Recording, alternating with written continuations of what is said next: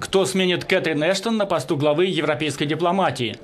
Это один из вопросов, на которые предстоит дать ответ главам государств и правительств стран Евросоюза. Может быть, Эштон сменит глава МИД Италии Федерико Магерини?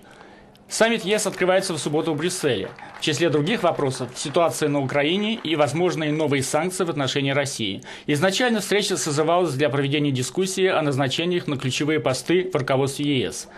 На пост председателя Евросовета вместо Хермана ван Ромпея основными кандидатами являются премьер-министр Польши Дональд Туск и его датская коллега Хелли Торнинг-Шмидт, сообщает Этартас.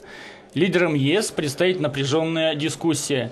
Распределение ключевых постов в ЕС должно быть принято только пакетным решением и удовлетворить требования всех ключевых государств Евросоюза.